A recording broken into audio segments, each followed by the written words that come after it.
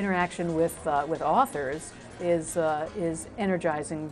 It's energizing to talk about work that we have in common, even if we're writing very different types of books. Um, and the interaction with, re with readers, uh, well, I mean, there's, there's, there's nothing to compare to that. That's why you write book, you, you write a book, maybe you feel like you have to write it.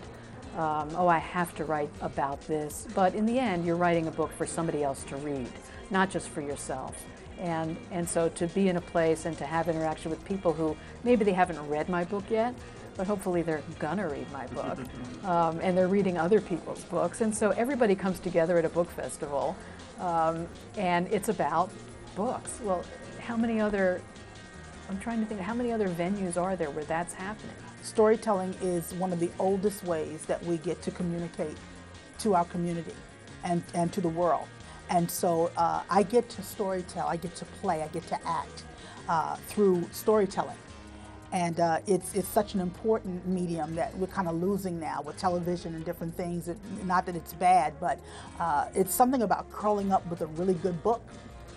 Uh, I love iPads, but I love the turn of the page. I love the way the pages smell, and that's something that we're losing.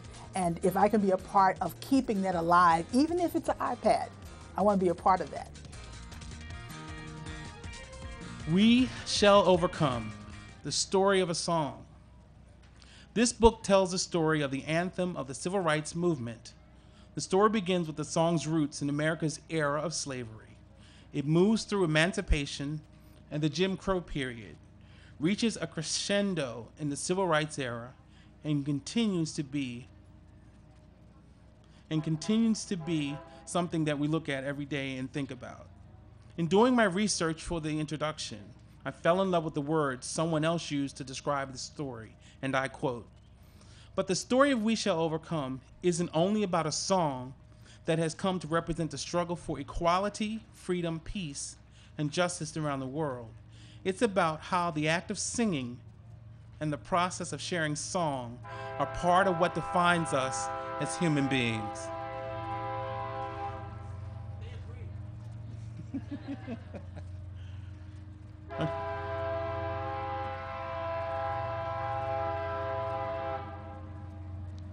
Let's let the train pass.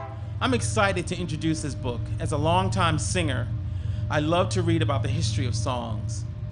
Debbie Levy says of herself, and I'm quoting I write books, fiction, nonfiction, and poetry for people of all different ages and especially for young people. Before starting my career, I was a newspaper editor for American Lawyer Media and Legal Times. Before that, I was a lawyer with the Washington, D.C. law firm of Wilmer, Cutler, and Pickering, now called Wilmer Hale. I have a bachelor's degree in government and foreign affairs from the University of Virginia and a law degree and master's degree in world politics from the University of Michigan. I live in Maryland with my husband, Rick Hoffman. We have two grown sons. Besides writing, I love to kayak, boat, and fish in the Chesapeake Bay region, swim, bowl duck pins, tramp around the woods with the dog. I only thought people in Baltimore did that. Watch the cat sleep, and of course, she loves to read. Vanessa Brantley Newton grew up in a musical family who loves to sing. She is self-taught. She is a self-taught illustrator, doll maker, and crafter who studied fashion illustration at Fashion Institute of Technology in New York and children's books illustration at the School of Visual Arts in New York.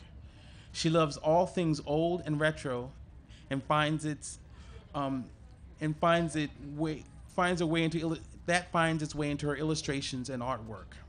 Her voice for writing is as simple and sweet as the voice of the she sings with.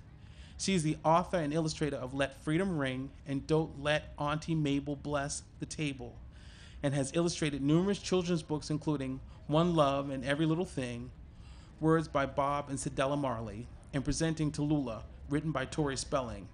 Ms. Brantley Newton currently makes her nest in Charlotte, North Carolina, with her husband of 20 years, their daughter, and a very rambunctious cat named Stripes.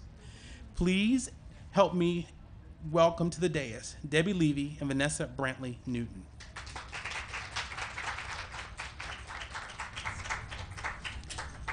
Thank you for being here. Let's get right to it. We Shall Overcome, the story of a song. Why a whole book about one little song? Well, I frequently speak to young people, and so I see a few young people here and a few people who are formerly young people here. I'm going to direct my, my comments um, to the younger common, common denominator. So for me, this book started not so much thinking about singing, although Vanessa, I love to sing, I love music, but in thinking about fairness, or to be more exact, about unfairness. So, for example, what if you could not be in this tent today, just weren't allowed here because you wear glasses? What if that were the rule? What if you couldn't be in that tent today because no green, no green jackets allowed here today? I know saying it like that sounds silly, but not so long ago, right? In many parts of the country, including here in Maryland, if you were African American, you would not be served at a restaurant. I grew up in Silver Spring. So during hot summers in the 60s, if my parents wanted to take me over to Glen Echo to the public pool to swim, I could go to Glen Echo and swim. If my friend Vanessa lived here then, she couldn't go. She wasn't allowed in. And of course, we're not just talking about restaurants and swimming pools, but this type of unfairness, this type of injustice toward African Americans covered all aspects of life, important aspects of life schools, jobs, public transportation, buses and trains, the good stuff reserved for the white people, the not good stuff over here for the black people. So, if you were treated this unfairly, how might you feel? Right? I mean, I know I would feel sad if I were in that position, but I'd also feel angry. And I can imagine even feeling so angry that I'd want to fight. But fighting with your fist is not such a great idea. It doesn't, it's unlikely to get you what you want. It can hurt innocent people. Um, you'll get in trouble. So you could come up with another way of fighting, fighting with your brains. You could join with other people who also object to this type of unfairness, and uh, you would march you could write articles, make speeches, and you would quietly and firmly demand your rights. That's another way of fighting with your brains. And that is exactly what African Americans and other people, whites, browns, beiges, who wanted also to fight this type of unfairness, that's what they did. They fought with their brains. And we all know, of course, about the great leader who fought with his brain, against this type of injustice, Dr. Martin Luther King Jr., and there were other leaders, but there were also so many regular people like us who fought this way, whose names are only known to themselves and to their family and to their friends. And there was another important way that people fought the injustice with their brains and not with weapons and fists. And do you know what that is? They opened their mouth and they sang. And you might think that singing is not much of a way to fight. But if you think about it, singing shows the world and shows the people that you're objecting to that you too are human, that you have a voice, that you are strong, and that you will be heard. And if in fact inside you're still feeling sad and maybe even scared, because fighting with your brain is scary Fighting injustice is scary. Singing, especially when you're singing together with other people, can lift you up, give you courage. Now, people weren't singing just any old song. They weren't singing Happy Birthday to You. They weren't singing Zippity Doo Dah. But you all already know the name of the song that they were singing, because it's the name of our book, We Shall Overcome. And now, I'd like to hear from Vanessa about this. It is indeed a pleasure to be here with all of you. And we are going to do a song, and hopefully we can have you join along with us if you know the song, all righty? I see a couple of people like, yes, okay.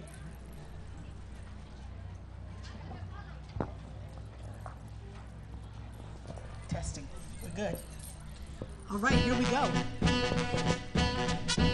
It is again indeed a pleasure to be here with you and we're going to share this song in a different way, but the words still mean the same, and it's the same intent. We shall overcome.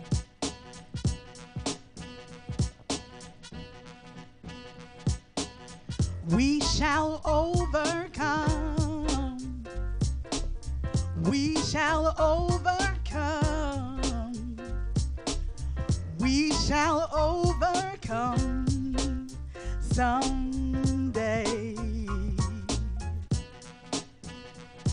Back in slavery times, when enslaved people worked long days with no pay and no say, no freedom, no fairness, no choice, no chance, the people sang.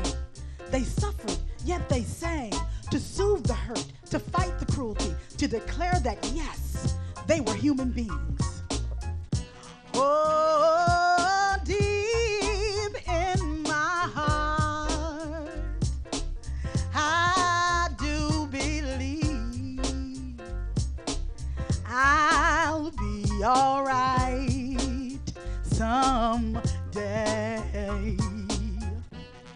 I'll overcome someday. I'll overcome someday. If in my heart I do not yield, I'll overcome someday. It took a war, the Civil War, to end slavery. But even after, white people treated black people as less than fully human, excluding them and ignoring them, blaming them, and even attacking them, all because of the color of their skin. Black people were no longer slaves, it was true, but they were not truly free. Still, they believed things would get better. Still, they sang. We shall overcome. We will overcome. We will overcome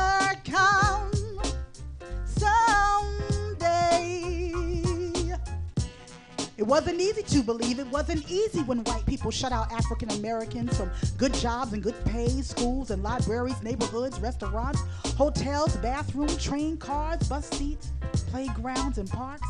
But black Americans, with some white Americans, did believe that they would overcome the unfairness, hate, and violence. They started to protest. They brought us church songs. I will overcome to the streets. But since they were marching and working together, they sang, We will overcome.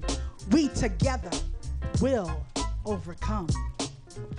Oh, deep in my heart, I do believe we will overcome someday. From the streets, the song reached the ears of city people, country people, followers, and leaders. Reached Martin Luther King, the most important leader, working for justice for African Americans. He took the song with him in his heart everywhere he traveled. The words changed a little, but the spirit stayed the same. We shall overcome. We shall overcome.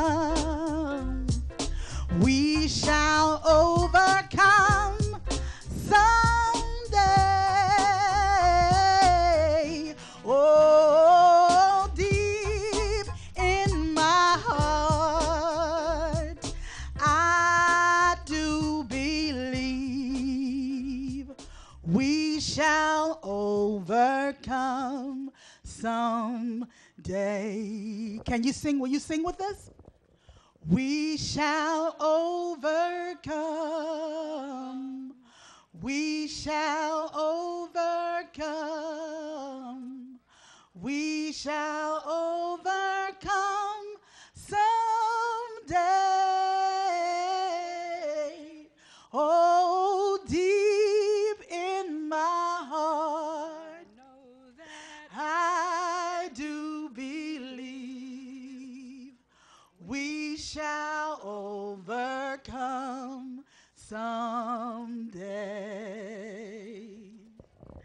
Guys sound awesome. Vanessa and I, is it still on? Vanessa and I, though we've worked on this book together for, oh, three years, are only meeting now this weekend. That's the way it is in children's books. We, we didn't even talk on the phone. We didn't have email exchange. And it's not because we knew we wouldn't like each other, it's just the way it's done. So, since we're just meeting each other this weekend, we have some questions for each other, and you might as well listen in. Vanessa, my dear, When you first read the manuscript to this book, did you know what you wanted the pictures to be? Oh, absolutely. I'm, I'm a child of 60s. So I remember uh, some of the outfits that the different people wore, and that's what intrigued me. I'm a fashion illustrator. So immediately I was like, oh, yes, I know exactly what I'm going to do. And um, I just collected these ideas in my head, and I could not wait to get it on paper after I read the manuscript. So definitely. Now, for you, I'm going to ask Yes. what inspired you to do this book, to write this particular book? Well, I've written a number of books for young people, including picture books like this, but also for middle and high school students. So, in doing books about, for example, Lyndon Johnson, I did a biography of Lyndon Johnson, a book about bigotry, um, a book about slavery, uh, and some others, I encountered the idea of fighting with your brain. And moreover, I encountered, of course, I knew the song We Shall Overcome, but I kept coming across little bitty snippets of fascinating information that I never knew about the song. And so it just grew year over year. You and I worked on the book for, say, two or three years, but I would say that I've been working on the book for eight or ten years. Vanessa. Hmm, Oh, I have so many questions for you. What was the hardest part of illustrating this book?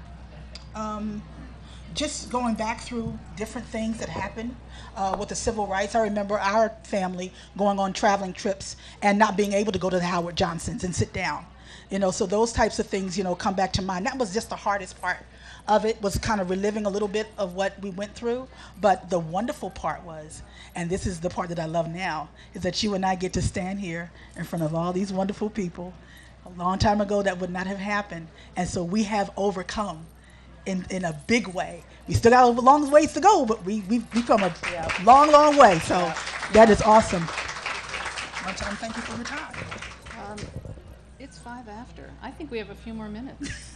no? Should we go to 11:15? 10:45, 11:15. She said 10 minutes. I know, but I, I think she started counting too soon. Am I wrong? 11:05. Okay, so two minutes indeed. Okay. m- Uh, more- any more- questions from Yes. you all? Any questions from?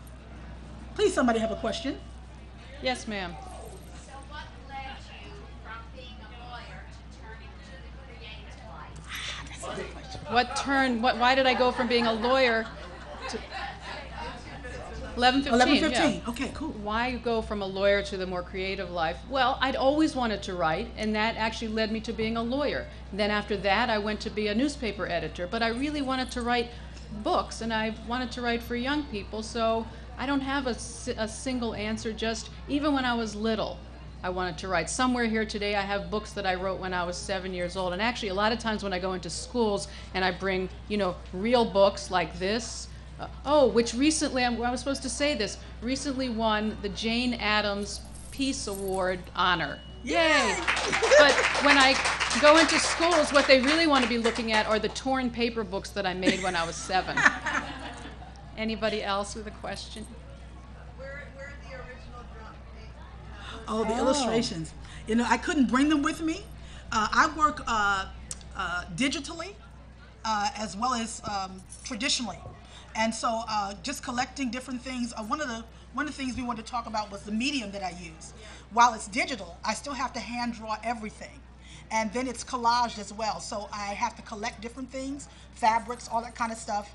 Uh, like I said, I'm a retro girl, so anything from the 60s or the 70s was stuck in there. So I think uh, if there aren't more questions, and I are we still on a? Oh yes, sir. Can you elaborate on what you said about not meeting, uh, and, um, not emailing, not speaking on the phone?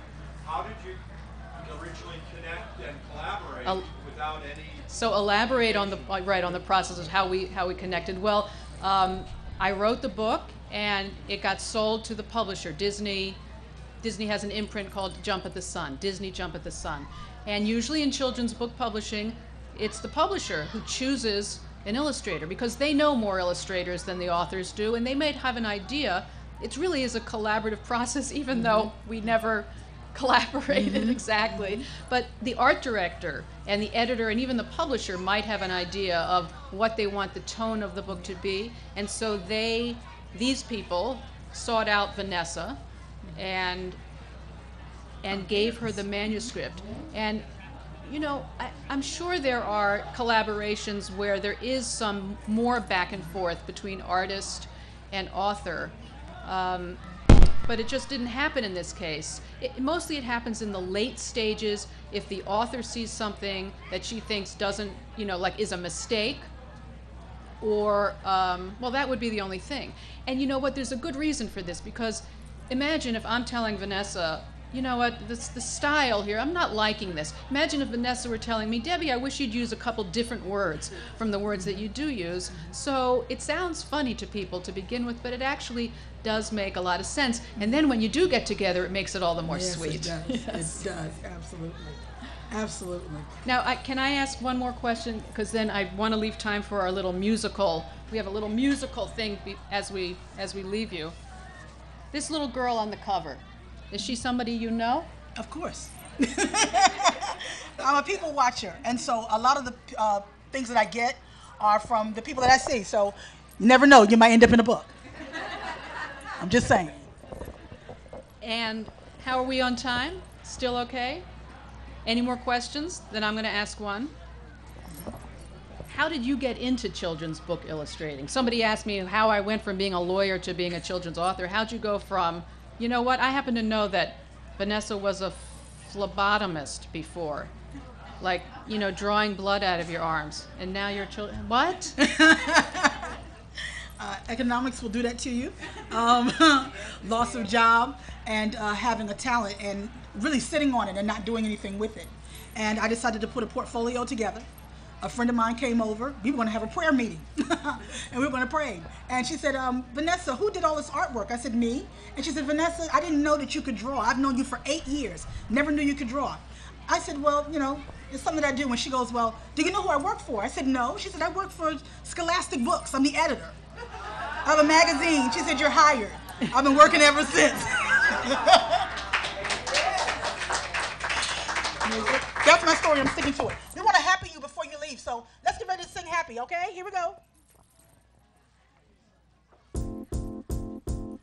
It might seem crazy what I'm about to say. Sunshine, she's here. You can take a break. I'm a hot air balloon that could go to space with the air like I don't care, baby, by the way. Ha. Clap along if you feel like a room without a roof. Clap along if you know that happiness is the truth. Clap along if you know what happiness means to you. Clap along if you feel like that's what you want to do. Here come bad news talking this and that.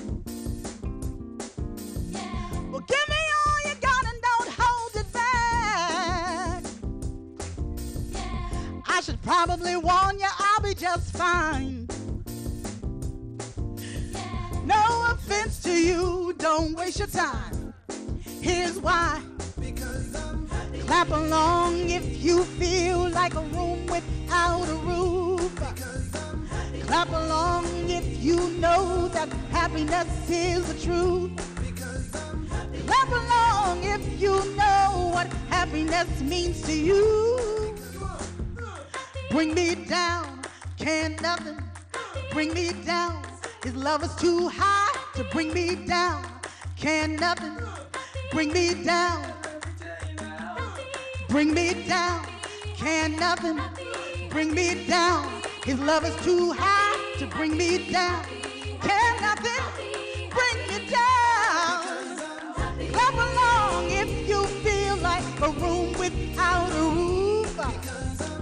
Clap along if you know that happiness is the truth. Clap along if you know what happiness means to you. Clap along if you feel like that's what you want to do. Clap along if you feel like a room without a roof.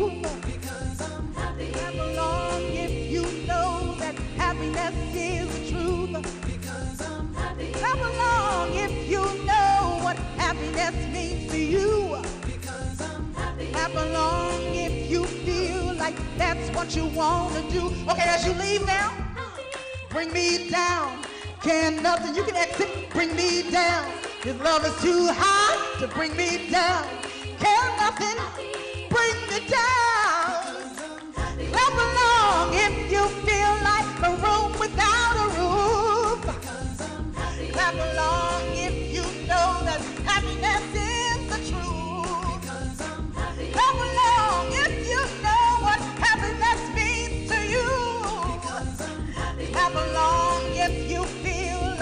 that's what you want to do. Don't forget to get book sign. Clap along if you feel like a room without a roof. Please pay for it first. Clap along if you that happiness is the truth. Politics and Prose Bookstore tent. If you know what happiness means to you, clap along if you feel like that's what you want to do. Have a good day, and thank you so much for coming.